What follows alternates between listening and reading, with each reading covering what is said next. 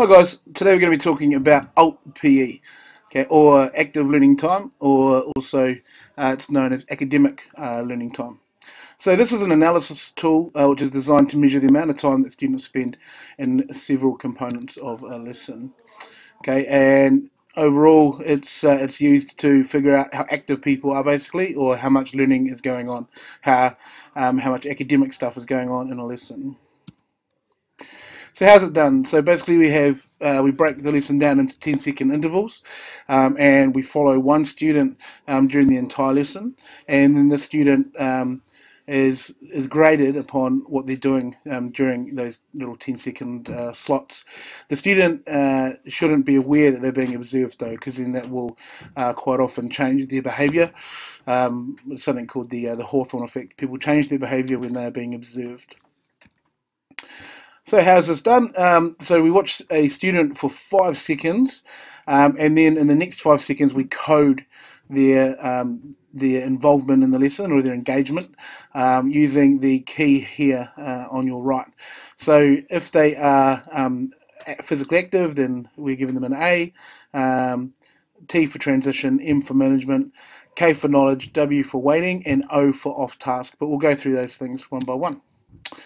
So if we were to go through this little example here above my head, um, and you can see it's cut into into slots, excuse me, of 10 seconds. So for the first slot from 0 to 10 seconds, it's filled out with M. So M is management, so this includes administration of the class, um, some class business, etc., attendance, uh, maybe going out to get a drink, uh, announcements, and that sort of thing. So an example might be that we're taking the roll okay as we can see here on the image on the right uh, J. Quellen, uh, A. Aaron, etc.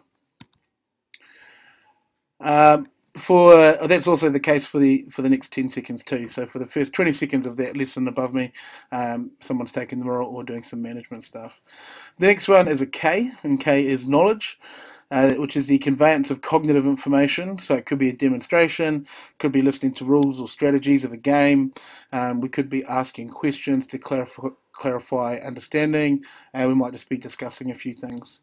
So my example over here on the side, so you can see the teacher is demonstrating how to do a bit of a windmill move uh, in breakdancing and the students are around observing and taking on board that demonstration. Okay, and that only goes for 10 seconds. Then we have a transition time where they are moving from one activity to another. So in this case, we've just shown kids how to do the windmill move and breakdancing. Then they're about to go and move out to go and give it a go themselves. Okay, so that's a transition time. These kids are obviously quite keen um, and they're sprinting to go and to practice their windmills.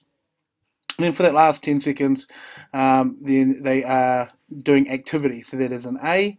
So the motor engagement um, is high and they're doing the assigned task. And the key word there is that it's assigned.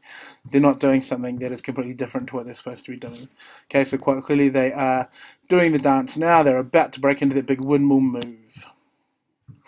So the guidelines for Alt PE are that um, the activity during your lesson should be um, going for at least 50% or greater than 50% um, throughout the entire time. Okay, the knowledge, so the time when you're giving them instruction or giving them demonstrations, should be between 10 to 25%, and the other ones should be as low as possible. So the kids waiting, the kids moving between transitions, doing the roll, and the off-task behavior, that should all be as low as possible, as low to 0%. So the kids need to be getting more reps in, okay, and with more reps, more practice, um, studies show that they improve, they get better at the skill, okay, rather than having to sit there and to listen to you talk um, or to be running around in between activities or to observe you setting up your activities. So everything needs to be set up.